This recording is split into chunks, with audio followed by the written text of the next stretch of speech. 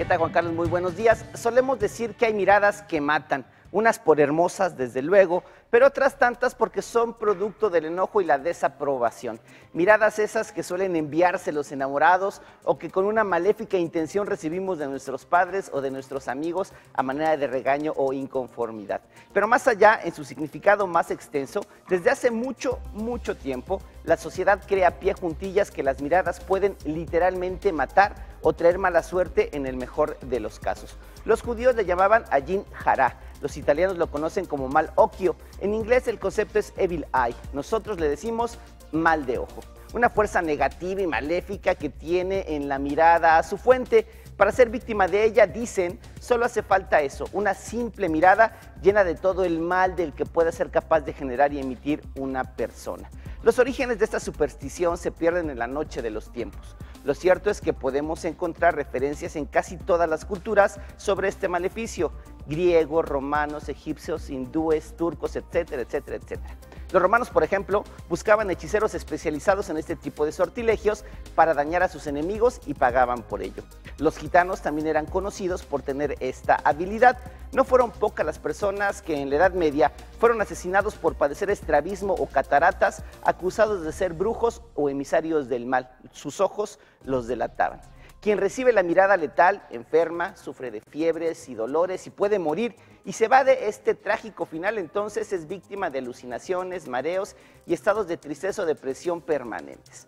La gente cree que incluso el mal de ojo puede pasar de madre a hijo y que son precisamente estos, los menores, los que más pueden ser víctimas del terrible maleficio. Regularmente la envidia se considera que es la principal causa para que alguien decida dañar con el mal de ojo a otra persona. Para los folcloristas, el origen de esta superstición tiene que ver con el reflejo que provoca nuestra pupila. Al hombre primitivo le pudo parecer extraño ver su figura reflejada en el ojo de sus compañeros y consideró así que su alma quedaba atrapada en la mirada del otro. Tan antigua como el mito es también la protección que se busca para evitarlo, es decir, la existencia de algo que se conoce como amuleto. El más conocido de todos, el famoso listón rojo anudado en la mano izquierda. El original contempla además siete nudos en correspondencia al número sagrado. Tradición que se cree viene de la cábala judía, que asegura que un hilo rojo enrollado sobre la tumba de Raquel, esposa de Jacob, adquirió la potestad de curar este mal debe ir en la mano izquierda porque ese es el lado receptor del cuerpo y del alma, algo así como una especie de antena, pues. No es el único amuleto. Desde Turquía nos llega el Nazar Bonkugu Nedir, una piedra de color azul con un ojo pintado sobre su superficie, suficiente para que portado ya sea como brazalete, aretes o pendiente, puede evitar y curar el mal de ojo. En nuestra América Latina tenemos nuestra propia versión, el ojo de venado, que no es ni un ojo ni es de un venado, sino la semilla del bejuco trepador, semilla que tuvo la mala fortuna de asemejar un ojo y así que bueno, al ojo le amarramos una cinta roja y listo, un amuleto reforzado. Por si no fuera suficiente, esta pieza fortalece la voluntad y autoconfianza del portador, dicen por ahí.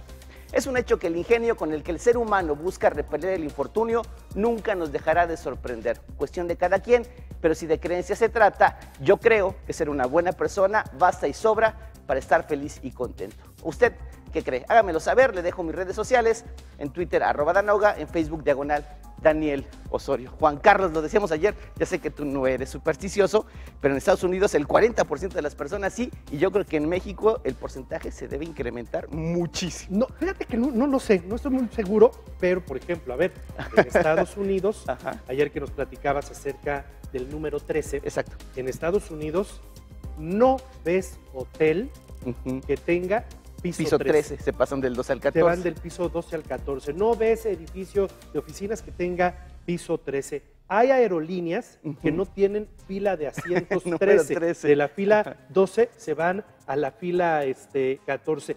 En día 13, en Estados Unidos, baja el número de pasajeros en las líneas aéreas y ferroviarias. Y si alguien tiene planeado un viaje, mejor se aguanta un día. ¿no? sí, la verdad es que es increíble que en pleno siglo XXI, estando tan avanzada la ciencia y todo esto, todavía haya esta firme creencia de que las cosas inanimadas pueden tener cierta decisión sobre nuestra fortuna o nuestro infortunio. Pero bueno, eh, eh, se pierde en el origen de los tiempos. La cosa no es sencillamente decir, no crean eso, son ignorantes. No, es bien profundo la, la situación y tiene que ver con la fe.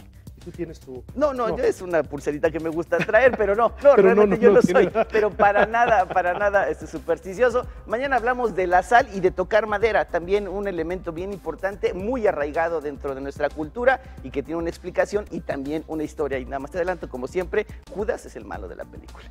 Norma Ferrer te dice, en Canadá tampoco hay piso 13 en ningún edificio. Gracias. Norma, gracias Daniel. Juan Carlos, nos vemos mañana. Que tengas un